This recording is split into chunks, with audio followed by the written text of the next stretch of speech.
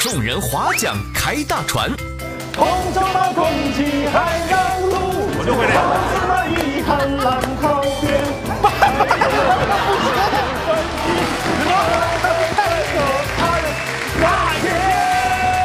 知心爱人岁月无痕，人静付笛声，甜蜜依旧。我幸福走过的是你搀扶的。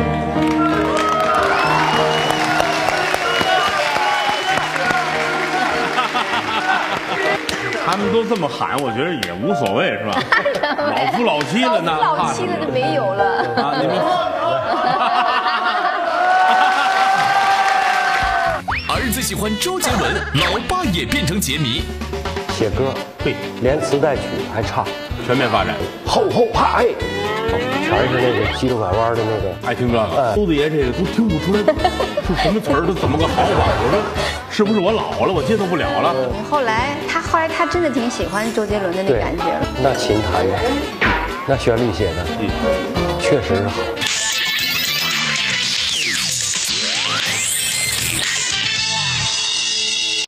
哎，你看师傅写的我这泡泡，他这个他里头这个特别没事没事，看不出来。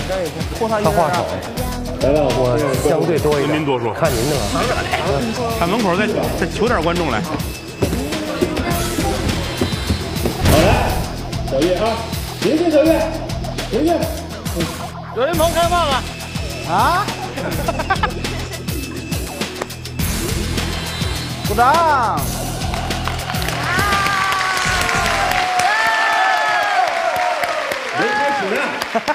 我那个五四三二，我那个二使出来再说啊。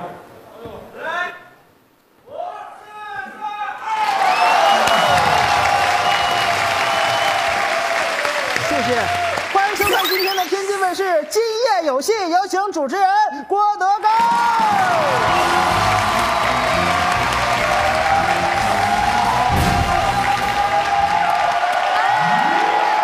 别喊了，都哑了。谢谢，可以了，差不多。欢迎收看天津卫视《今夜有戏》，我是郭德纲，欢迎你们。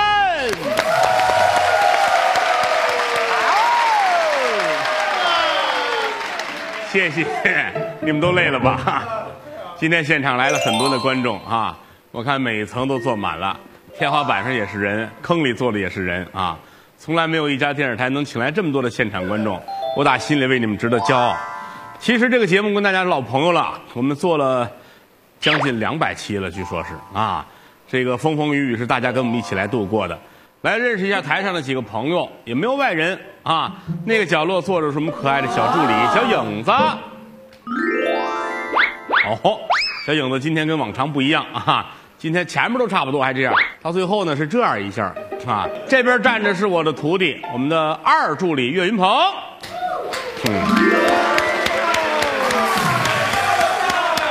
谢谢大家的理解啊哈。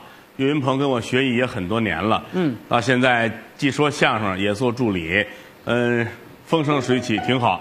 除了这个造型让我们觉得没有办法之外，其他的我都挺满意的。你对你今天这个这个状态有什么要说的没有？九十九分，太棒了！人贵在有自知之明。他对今天的这个这个造型打分是九十九分，我们是三十万满分啊。嗯 你估计这分不够啊。不够。你脚底这双球鞋谁给你买的？呃，我自己买的，多少钱啊？一百二十八，一百二十八，管饭吗？不管饭，那你上当了。送送三双袜子。哦，那还行，那还行，穿吧，也就在这儿穿啊。嗯其他地儿穿着也不合适。嗯，熟悉我们的朋友都知道，岳云鹏一直喜欢小影子，但是一直没成功。我们多么希望他们两个人也能够打起来那天，是吧？我们努力吧。娱乐圈里边啊，这个夫妻啊，其实是值得研究的一门课题。我们经常在各大网站上、新闻头条上看到，哎，著名的明星啊，张三呐、李四啊，今天结婚了，嚯、天下尽知，闹得非常的热闹。确实，很多夫妻日子过得非常的好。当然，也不排除有些个小夫妻呢，呃，开始的时候还算挺热闹啊，天下尽知。但是日子过到一定程度呢，不管出了什么状况，反正不能再坚持下去了，就有一方退出了。咱退出没事我觉得退出告诉一声就可以啊，别偷偷摸摸的退出啊。另外，退出之后别骂衔接，就比什么都强啊。哎呀，我说的这是什么呀？这是。岳云鹏，你要想着拦着我我也不想拦着您了，啊，我现在有点做了病。您痛快痛快得了。我去你的！但是在我们的娱乐圈里面，有一对夫妻是我们在婚姻方面的楷模。今天这节课，我们来学习一下。掌声有请任静。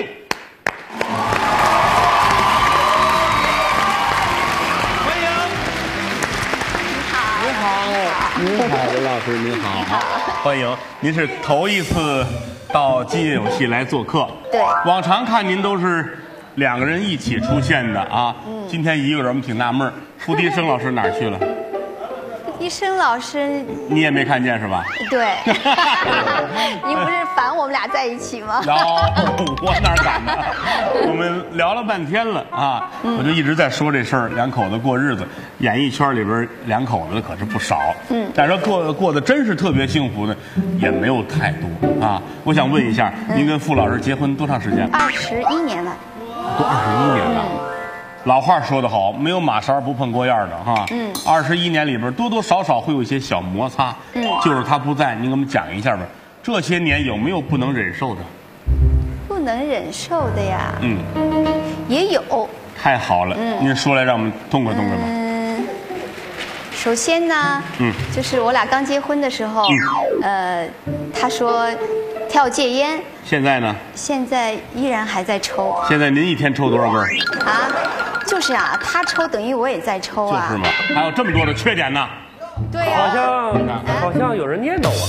又来了，欢迎毕忠老师，欢迎。你好，你好，你好，来抱一抱吧。来来来来来来，欢迎。没听说过。九十年代中期的一首《知心爱人》，一度成为恋人间表达爱意的必唱曲目。任静、付笛声一直秉承着“你是幸福的，我是快乐”的原则，携手相牵。如今，鱼尾纹虽已悄悄爬上彼此的面颊，但他们依旧是娱乐圈中一道亮丽的爱的风景线。还抽烟，而且食言了啊！说过要戒烟，没戒了。是解释一下吧。因为我们同学身边的这寝室的，他都抽上了，啊，我还没抽呢。后来呢，比他们晚啊。哎，晚点儿。后来呢，他们都戒了，我还没戒，也比他晚点儿。这就转变着啊！你看，你拿我来说吧，我当时就想到了，我如果上大学的话，寝室的同学肯定会抽烟，所以为了避免学会抽烟，我连大学都没上。对，好。啊，嗯，挺好。他说在家里边管您叫婆婆，是真的吗？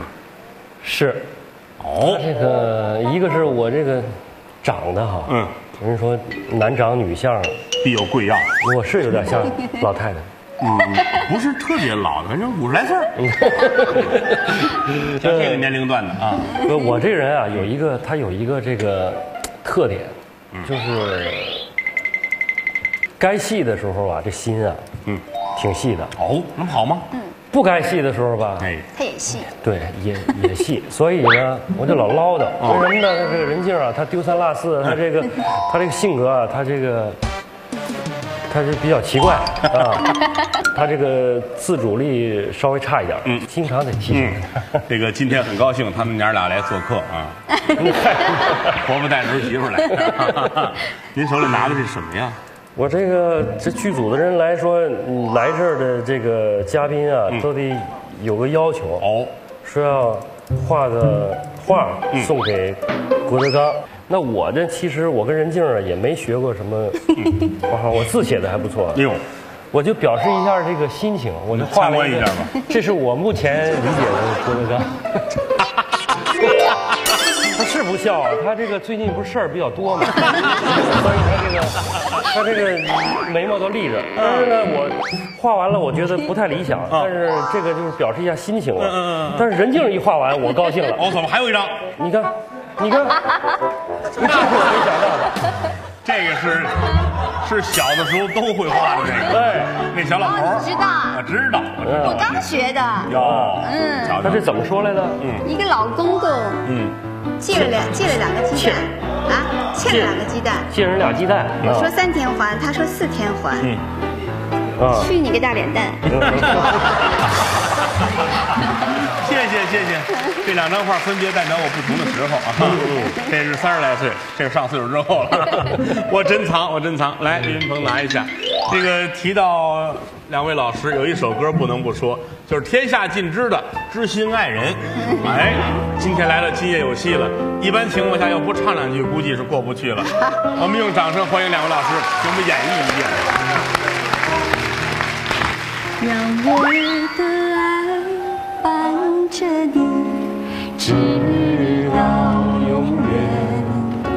你有没有感觉到我为你担心？在相对的时间里，才发现什么是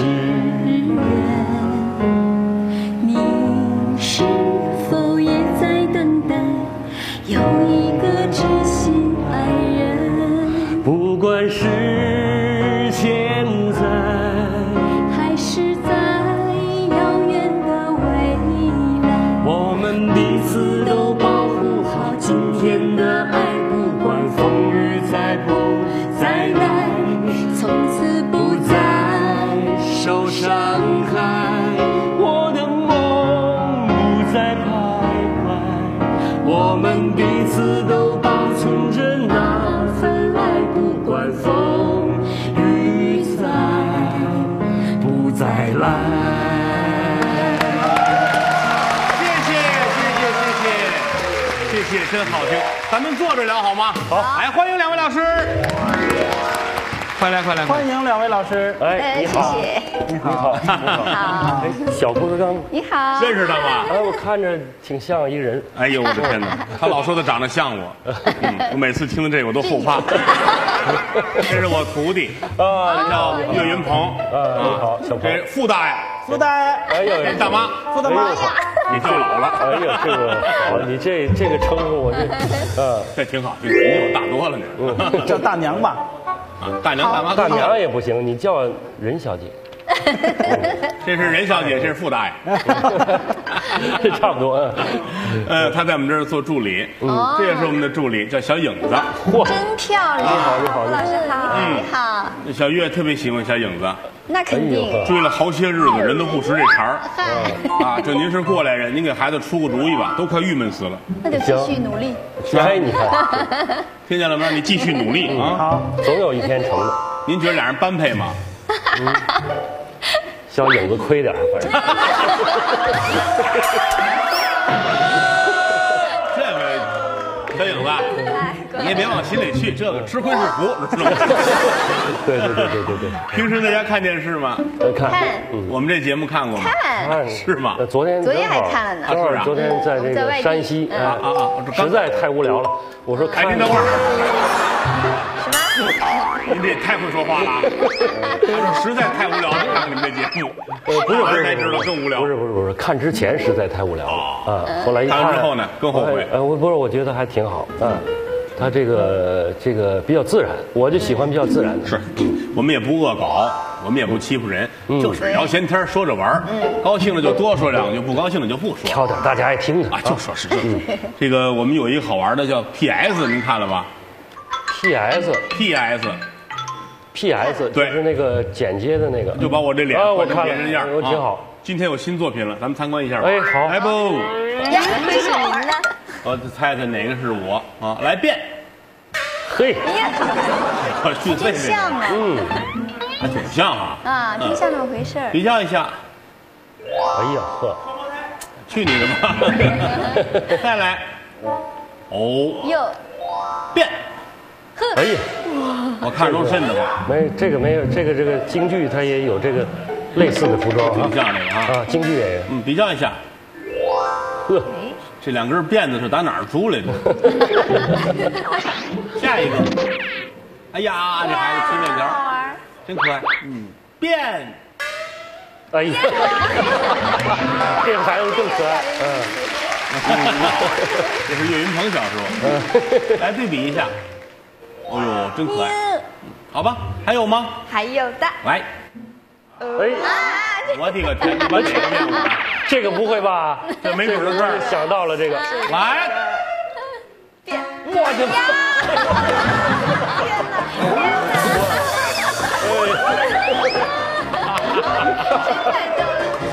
这真好，这是我跟于谦儿，你看了？哎呀，呃，这是于谦儿，这是于谦儿，哎，这于谦儿上上边俩好挺像你的哈对。呀，奇怪，嗯，就是那个不像人劲儿，那个像人劲儿，我也不娶她那个。那是整容失败。还有吗？没有了，郭老师。我的个天哪！快把它关了吧太寒碜了啊！这是我们的网友，有这么两位，一个叫末日审判，一个叫郭胜群，啊，一个哎就他们两位，由他们两位提供的。电视机前的朋友们，咱们得提醒一下，PS 大赛呢快结束了，但是有好作品依然可以往这儿来寄。啊，我们会把一二三等奖请到现场来，跟小影子亲密接触。其实不是啊，但是我得这么说。嗯我要说跟岳云鹏亲密接触，他们就不来。这个就是啊，跟钓鱼一样，天天打窝。哎呀，实话实说，嗯哎，您尝尝我们这茶水，您喝喝特点水。别香，我刚才已真的呀经喝过了来来来来，。嗯，哎呀，真不错，嗯，还行吧？有戏。嗯，香你，啊，嗯，这杯您要喜欢，待会儿能带走。真，的。今天很高兴能请到两位老师来做客，我们来聊一聊亲密爱人的平凡生活。嗯，这个我听了一个小传说，据说是田震给牵的线。嗯。那那是给属于演绎了啊。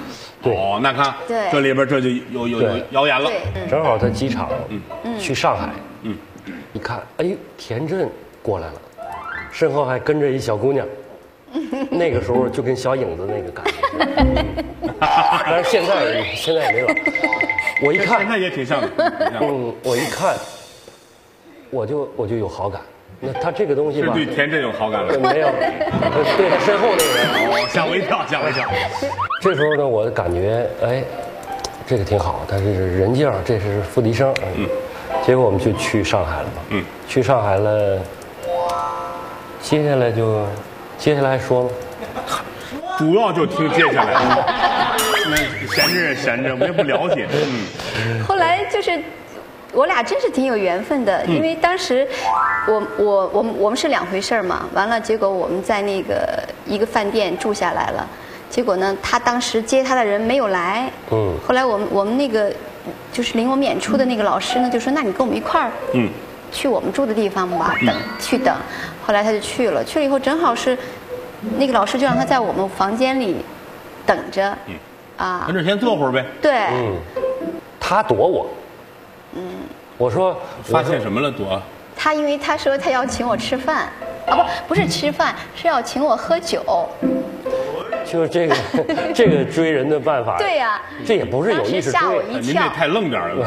是这也不是追。那个时候哪有说一见面就马上就追？那有点太过分了，是不是？那那就有点这着急了。啊，这就是好感嘛。您这给我们提了个醒。我说岳云鹏这事儿不成呢。你看你跟你大爷这个有异曲同工之妙。他那天跟小影子说了，走，咱洗澡去。是啊，要不这事儿没成呢。警察都来了。嗯嗯嗯 嗯。我的，当然这个这个这个喝酒啊，是是实际上那天啊是我生日，对我后来实际上我不能喝酒，我我刚一见面请人小姑娘喝喝酒，那也不对也。不像话呀。实际上后话就没说。后来他一看我要请他喝酒，他一听有点傻，说我有事儿跟田震逛街去了。好，啊，因为躲他呗。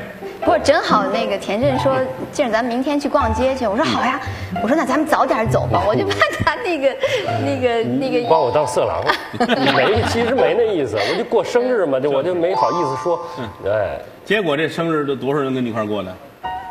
没结果没有没过呀。没过。嗯你就打算请他一个人跟你过生日？后来没机会，没机会呢，但是回来马上就有机会，这个都是该着刚着的事儿安排。哎，有一天帮我出这个第一张专辑的我的同学，嗯，说你又有个歌录音啊，那时候流行歌那个翻唱的比较多，对对对对港台歌拿过来一翻就唱，说这个对唱。我说我跟谁呀、你不认识，这人叫任静。哎，我说这么巧，我这刚回来。哎，天下还有这么巧的事儿？结果呢，那首歌我就是大家以为《知心爱人》是我们第一首，就是好像合作啊，那是推出来的。在嗯，那就是说在二十多年以前，我俩就已经有一次合作，那没结婚之前，嗯，那首歌啊，它特好听，你想你想不想听？来来吧，嗯啊，叫纪念照片照片。纪念照片，太好了，我们来欣赏一下。送给你。一张相片，里面签着我的名字，亲爱呀，亲爱的，我要好好的保存。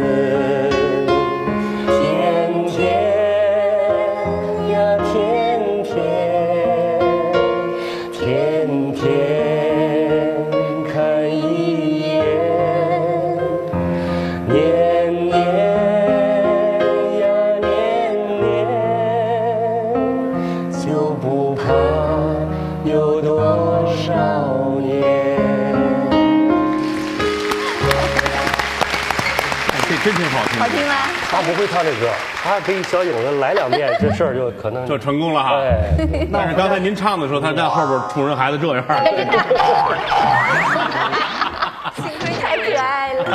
这影子说：“幸亏他不会唱，你说这歌好听吗？这真好听。它旋律简单，后来所以后来我呃写了几首像《知心爱人》啊这歌，都是有点这个启发。您就要简单，两口子你弄那么复杂的对干起来对对对，一人一句或者是怎么合唱啊搭配的好，简简单单是福。结果啊后来就甭说了，后来就成了，后来 您哪儿您就成了？交往了几年啊？半年，哦，那倒差不多，就登记结婚了。嗯，啊，这怎谁提出来的？傅老师吧？那肯定。那但是任静儿说实话，他有这意思，谁？他有这意思，一说就成了吗？嗯，咱们结婚我就说我现在都稀里糊涂的，不知道怎么就就就就同意登记去了。那天是个大年三十儿，儿子喜欢周杰伦，老爸也变成杰迷。写歌，嘿，连词带曲还唱，全面发展，后后怕哎，全是那个急着拐弯的那个。爱听这个。哎周子爷这个都听不出来是什么词儿，都怎么个好法？我说是不是我老了，我接受不了了？后来他后来他真的挺喜欢周杰伦的那对感觉了。，那琴弹的，那旋律写的，确实是好。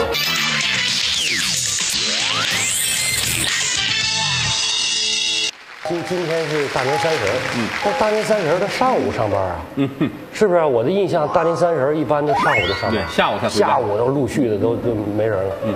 后来我说去试试吧，我就拿着这材料就去了，嗯，边上那商场，嗯，买了包糖，我一想这结婚这喜事儿啊，对。得给那登记的人是不是？带着糖，带着烟，就这样的。哎，那时候我烟好像没带，没带吧？带着糖。那时候我会抽烟，但是没带。哎，忘这茬了嗯哎，去了以后这一弄，嗯，就完了，就成功了就成功了。大年三十就结了婚了。对，所以那个每年三十呢，就是我们这个结婚纪念日好记。嗯，全国人民给你们庆祝。哎，嗯，听说为了你们结婚还办了台春晚，哎，那是，哎，哎，这有点这意思啊，对不对？哎我听了一个小道消息，说结婚很匆忙，连结婚仪式都没有举行啊。对，不是匆忙，结婚有什么匆忙的？天天年三十还不匆忙吗？不是，好像那个时候不不是你像现登在这么记完了讲究。，登记完了你不得谁家登记完了，第二马上就就是婚纱什么之类的。那倒是，那倒是。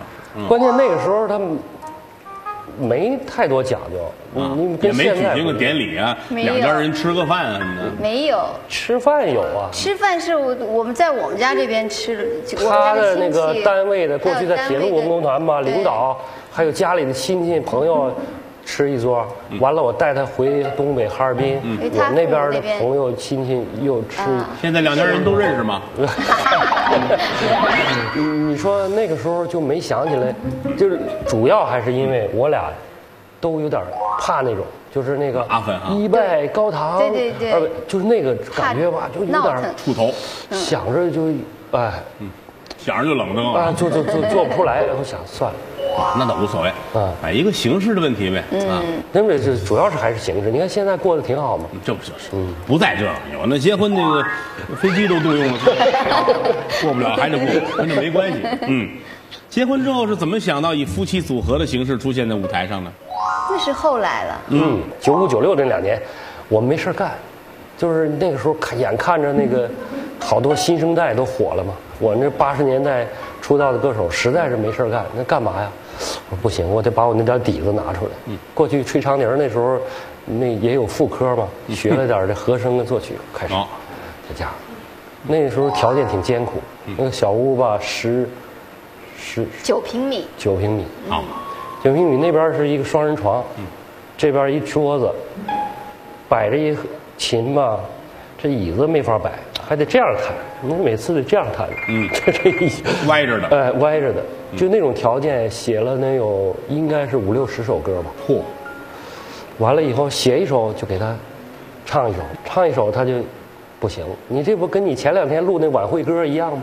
那晚会歌它有一套形那个模式，为什么它是现传的？这晚会是这个环保的，嗯，那咱玩一个环保的，嗯什么绿叶啊，什么绿什么什么小河流水，嗯那旋律吧，基本上都是差不太多。哎，差不太多。所以我写出那东西吧，都跟那有点像。哎，写一首他必一首，写一首必一首，最后我才找着，我就把这个曲子得给它编好。嗯，这合成器里边有鼓嘛，有什么丰满一些，我就回来给他唱一首。哎，一有空就给他唱一首。终于有一天，嗯，唱这个《知心爱人》，好，这一唱，任静说这个歌好，嗯太好听了。嗯，哎呀，我这就兴奋啊！有成就了。对，当然后边还写了很多啊。嗯，这几十首歌挑出十首，嗯，借了二十万。借了二十万，那个时候演出也没没留下多少钱，还养孩子呢，还得这个置办这个呢，出专辑得借二十万，借二十万还得省着花呢。那 MV 导演，那个又天上又下雨，绿叶又飘，那都是电脑做的呀。那你得，人家还得照顾我，都是朋友。说这样，你们确实也挺不容易。就这么拍的 MV，完了以后出了这张专辑，结果呢，就是让我觉得就是说老天啊，真是，就是你你你你这这付出这么多啊，他给了你一点回报。嗯，那当时我就在，我我开着车听着音乐节目，就有一个东北的大妈，嗯，说主持人你好，我想点播一首由任静、付婷演唱的《知心爱人》。嗯，哎呦，我这我这高兴啊，我这心里头，这个有知音了对，虽然这个这个广播员说，他说这个大妈对不起，我现在 我手里没这首歌。回来我就跟人家说，我说太好了，有个大妈点点咱这歌了，因为什么呢？原创歌曲，过去人家录了不少翻唱歌曲，我们那都唱，很少有留下来。嗯，你自己创作的歌，我们俩唱的，正式推出的，收音机里你你不管播没播，人家点了，嗯，说明大家有知道认可认可了哎，就这样，嗯，从这个开始嘛，陆续的。我我以为您刚才说完之后回到家，老太太来电话，刚才我点播你那歌呢。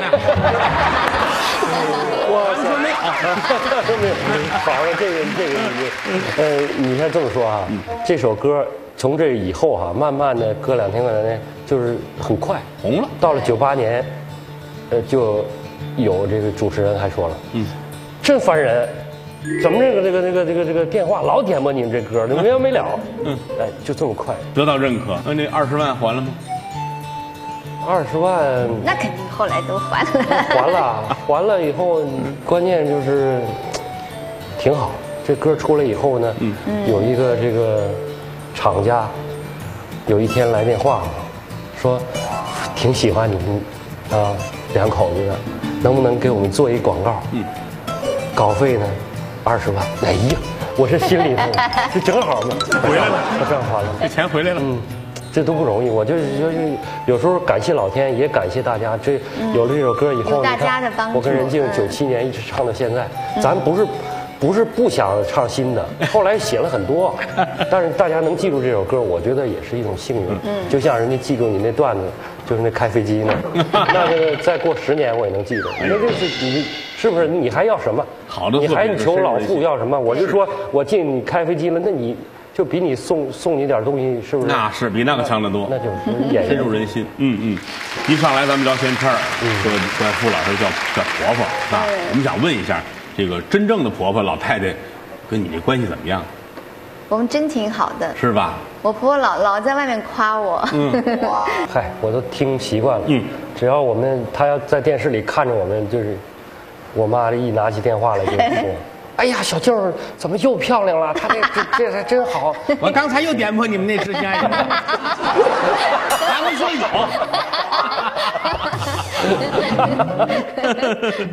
这个有一个歌，我觉得挺能说明您这生活的。这歌叫《你是幸福的，我是快乐的 》。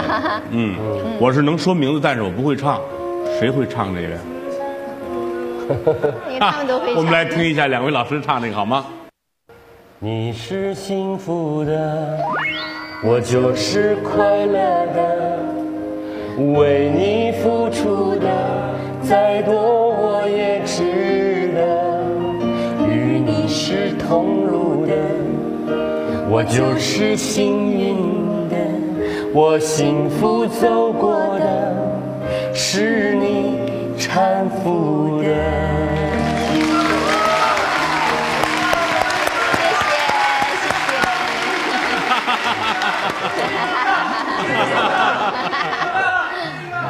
他们都这么喊，我觉得也无所谓，是吧？老夫老妻了，那老妻了就没有了。啊？你们，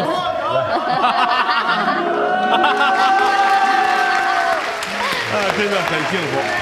可以了，可以了，可以了，别捣乱，不许起哄啊！呃，九二年、九三年的时候，付笛生老师连续有三件喜事儿，您能自己说上来吗？哎呀，那个时候这个真是春风得意，是吧？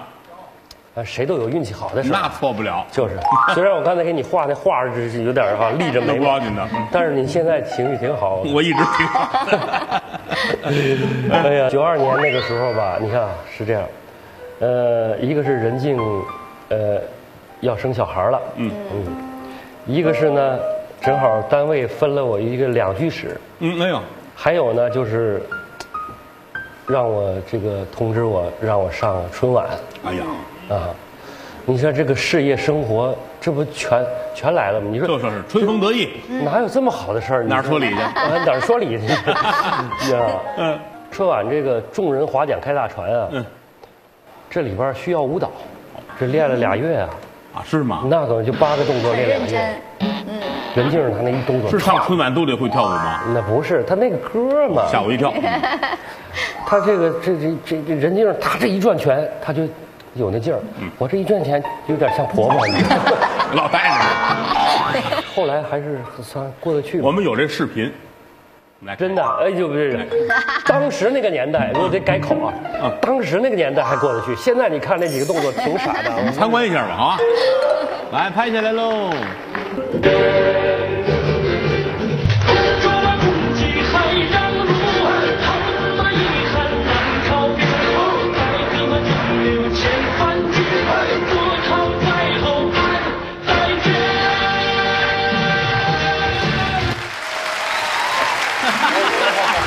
歌曲很有爆发力哈，唱词也朗朗上口的这个，这今儿来挺好。岳云鹏，你学这歌吧，好吗？好，咱们咱们现场唱一回吧，今儿个。好好吗？欢迎欢迎。嗯，来吧，我们到前面来，好吧？我们来试一试，今天跟傅老师来学学这个。来，我唱完这个，我就算上春晚了吧？终于，终于我终于上春晚。你这个啊，那就这个这样吧，嗯，我来伴唱，你你以舞蹈为主，好好好，我是专业的舞蹈演员啊。来吧，嗯，咱得这样，您说哦这样看那小孩出来吧，就是对，嗯，都这样啊。嗯，来，一家十十家百，百家千千万。你家我，我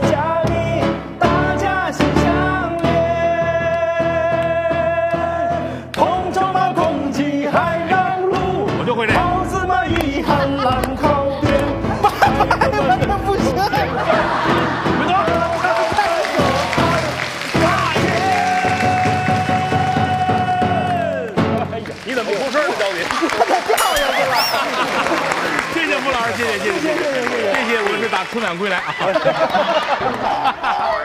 我要上春晚了。要这么说，上春晚挺简单的啊。哎呀，谢谢谢谢傅老，喝点水，喝点水。这个聊聊宝贝儿子吧。不小了吧？大高个儿，大小伙子吧？对，嗯，随谁啊？嗯，我俩优点嘛，对，都说是随我们俩优点了。是吗？嗯那不定多好看了啊！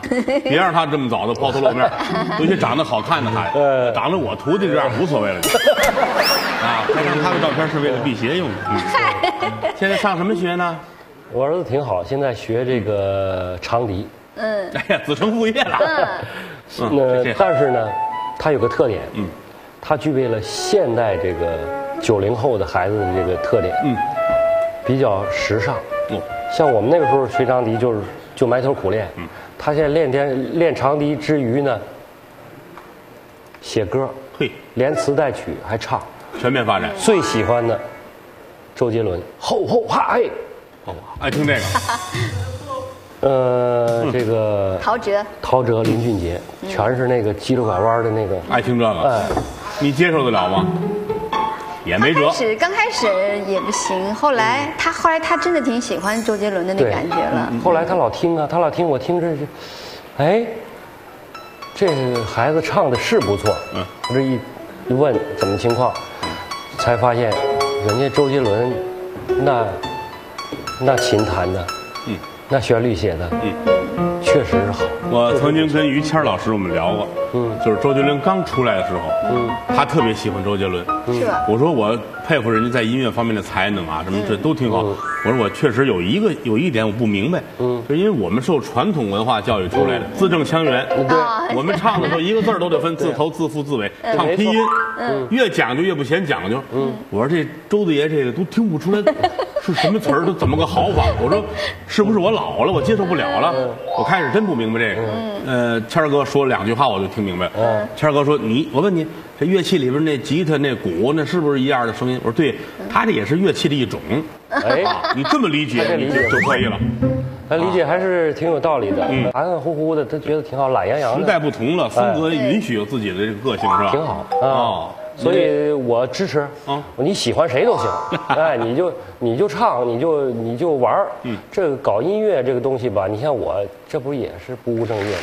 嗯，这是我们的今夜粉丝任意挥洒问卷，网上好多朋友给你们有留言想聊一聊，但是太多，咱说不过来，嗯来一摘啊嗯。小影子，哎来挑着问吧。嗯嗯，我正看咱们今天有戏的百度贴吧呢。该认识的我看这块儿有一位名叫“广告小达人”的网友说，哦，关于因广告代言而受的委屈和误解，两位老师和郭老师想反驳他们吗？对，这他有发言权啊。我就别说了，我都说腻了。嗯，多说无益，公道自在人心。嗯嗯，他这个你这个嘴是厉害，这噼里啪啦的，要不惹惹祸得罪人就在这儿呢。你说不出来，嘴跟棉裤似的。他看啊，这个算了。行，我再跟你说通俗一点，哎，就是这个关于做广告吧，嗯，作为咱们来讲呢，咱们只要把握一点就可以，就是说产品，我们能知道你现在你都是合格的，你你只能你只能做到这些，是不是？完了，你去用心的，只要这个产品你了解了不错，你就去代言，其实是没有问题。但是至于这个，就是说有喜欢你的，有骂你的，你不做广告，他不骂你，照骂不误。照骂你。所以说你做了广告，就是说不会，就是说喜欢你的人骂你，也不会说骂你的人又喜欢你，他就是就是。生活就是这么一回事情，只要你对得起自己，是不是？你把好的东西真是推荐给别人了，那你这不是干了一件好事吗？就所以我觉得，呃，广告还是要做的，但是呢，呃，多多了解一下，多在意点哎，多在意点，小心点就是了哎，别别这个也提，那这这我就都我来我来做这是了，这葡萄我这杯子我全做，别那样就行了，是不是？差不多就行了吧？哎，说的有道理。嗯嗯，行嘞。这个每一位来的嘉宾都得讲一个笑话，您二位谁来说呀？那肯定他说。哦，那到这儿来说，来，文静话少，来到前面来，来。哎呦，我坐会儿吧。你坐会儿。讲得好，这几万人都鼓掌啊。讲得不好，天上下雪，告诉您这笑话有点冷。嗯有一次我们出去演出，嗯，回来以后呢，买的火车，嗯，火车票，买辆火车回来不是买的火车票，太挣钱了。嗯哎，大家笑了，哪儿就笑了 不是买辆火车嘛？你还不如我说呢。你你说吧。他刚开始啊，是我们在一个包厢里在聊天儿。嗯完了呢，到该睡觉了，我就走，我就我就到我那个那个那个包厢里去了。完了夜里的时候我要上厕所，回来以后呢，我可能就忘了，我就我就跑到那个他的那个，就是我们曾经聊天跟就他的那个包厢、嗯。聊天那个包厢去了。完了，我就上上的上的二层嘛，我不自住上二层嘛，然后我就掀开被子，我就就进去了。嗯进去以后，这 个不不不，你别进去，啊掀开被子就要往里进，啊，对，结果呢？结果一老大爷，干什么呢你？把我这吵醒，我一听，老婆，干嘛去这？哎不是，他说你干嘛呢你？如果当时你要是躺在那个老大爷那位置，嗯，你会说什么？我都不说话。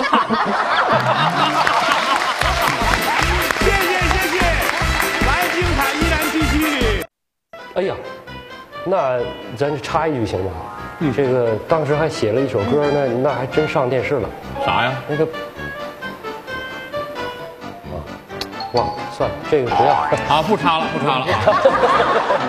吹笛子在那个当时的中央乐团交响乐队，哎呀，你可不知道，那就真正乐队里的人一听说说什么唱流行歌不听，那绝对的，绝不允许，绝不允许。那属于在艺术上有洁癖的人呢。呃，我要哎，我要听我就听高雅，祖母头，哎，贝多芬，我明狗，听不懂我也听。帕瓦罗蒂，哎，打断一下啊，嗯鼻炎，鼻炎，我这鼻子哦快来来点纸，纸巾，再等会儿。哎，换点纸，行吗？行了，有了有了，后面还有，后面还有，还有一张没舍得用。哎呀，送给，哎，调儿不一样。哎呀，真好听。这个老夫老妻，对你这这现在你确实挺火的。你说我们这捐了钱也网上也没见。你们上门口跪着，再求点观众来。